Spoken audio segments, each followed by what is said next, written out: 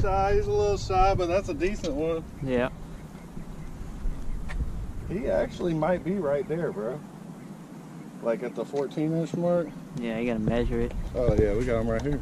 Not even close.